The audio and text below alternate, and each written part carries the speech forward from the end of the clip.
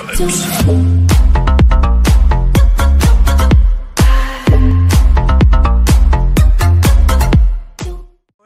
yo soy Cop. Con gafas otra vez. ¿ah?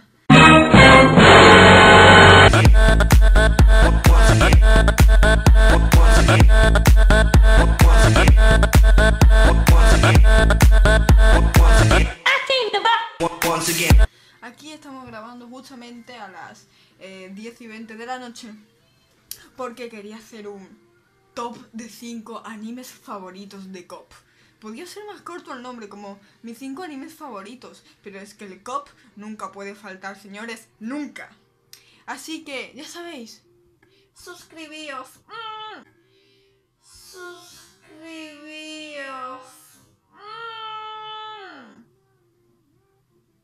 Se ve como al revés, ¿no? Han dicho, ¿no? Sí, se ve como al revés.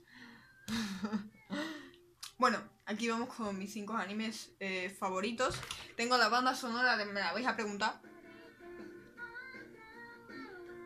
Vale, tengo la banda, la banda, una de mis bandas favoritas de anime shoujo, que Bokura Gaita. Bokura Gaita Endings. Y os sale pues estas bandas sonoras super cute.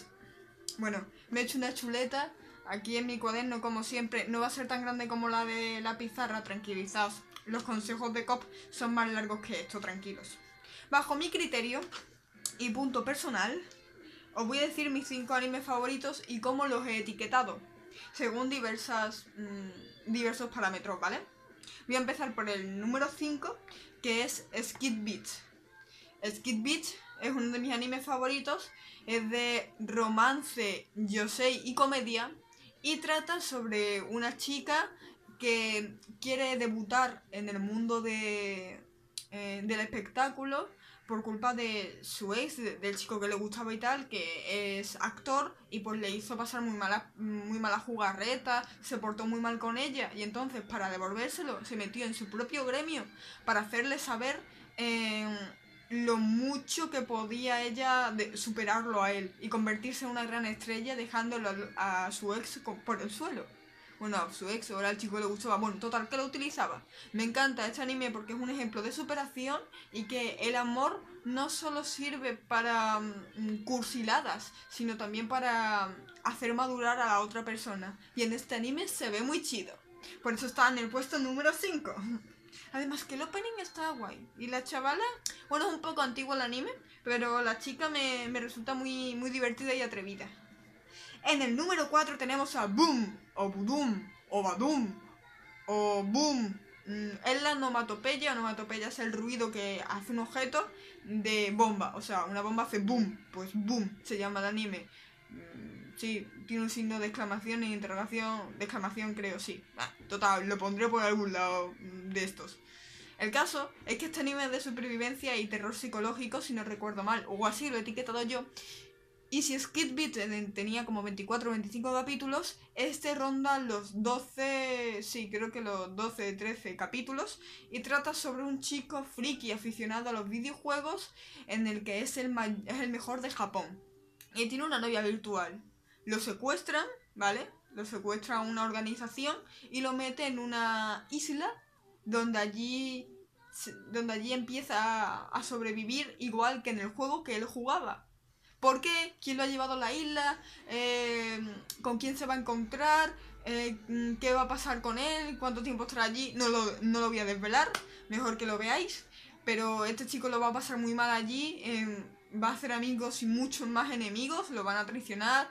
Y pues bueno, solo puedo decir que tiene un poco de echi y pues...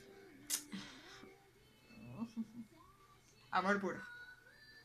Bien, en el puesto número 3 tenemos Dead Parade. Para los que no conozcáis, Dead Parade es un anime que hace poco eh, salió, relativamente es nuevo, y trata sobre una protagonista algo especial que se encuentra en un bar, aparentemente normal, un poco ochentero, me atrevo a decir, en el que Decim, el camarero, se llama Decim Dequim, bueno, yo digo Decim, es inexpresivo y colecciona marionetas o maniquís. Ujú. ¿Queréis saber por qué? ¿Qué hace esa chica en ese lugar?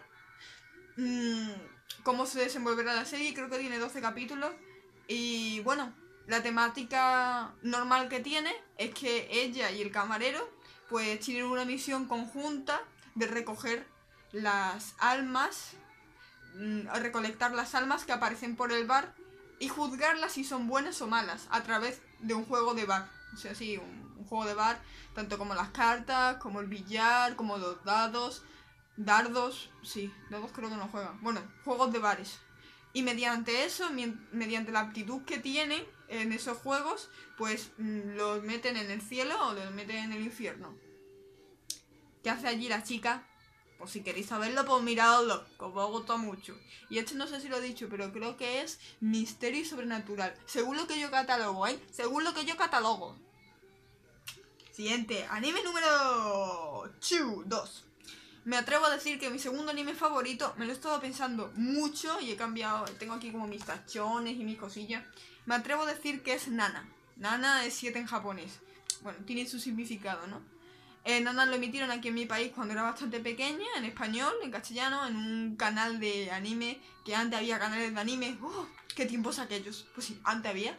Y pues me encantó Nana, tiene creo que 47 capítulos, 46, creo que 47, sí, 46, 47.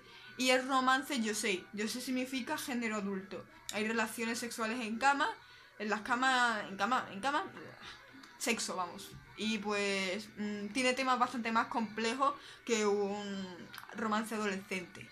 Pues aquí nos encontramos con dos protagonistas, Nana. Sí, las dos se llaman Nana. Y las dos tienen la misma edad, creo que 22, 21 por ahí. Son jovencitas las dos. Las dos se reencuentran o se encuentran en, en un tren, porque las dos van justamente al mismo sitio el tren se queda parado por la nieve, porque hay una ventisca, y las dos pues empiezan a hablar y, ah, tienen la misma edad, tenemos el mismo nombre, vamos al mismo lugar, van a Tokio, van a la capital. Y pues más cosas pasarán con ellas. De hecho, acaban viviendo juntas en el mismo piso y pagando el alquiler conjunto. ¿Qué pasará? ¿Cómo serán sus vidas? ¿Qué pasará con los chicos que tengan alrededor? Pues para eso verlas, son muy diferentes entre ellas. Una es cantante de rock y la otra pues intenta tener una vida normal con sus romances varios. Es increíble, me encanta ese anime. Y las canciones son... Magníficas. Y el último, y no menos importante... Bueno, el último no. O sea, es el primero de la lista, pero el último que digo. Vosotros me entendéis, ¿no? Sí, ¿no? Perfecto. Kobato. Kobato. Ah, ¿de dónde viene mi nombre? Pues de ahí viene mi nombre. Viene de Kobato. Lo reducí a Cop. Eh, Kobato es un anime de fantasía, comedia y romance. Me atrevo a añadir me atrevo a decir, todo bajo mi criterio, ¿eh? Todo bajo mi criterio. Qué bien, vamos. Tiene 24 capítulos. 24 capítulos, si no recuerdo mal. No tiene ovas, creo. Creo que no tiene ovas. No, creo que no. Y Kobato trata sobre una chica que cae del cielo. Cae del cielo, no es coño. Aterriza en un parque. Y pues su misión, junto a la de un peluche llamado, llamado Yorogi-san. Yorogi, Da igual mediante un peluche parecido a un perro azul.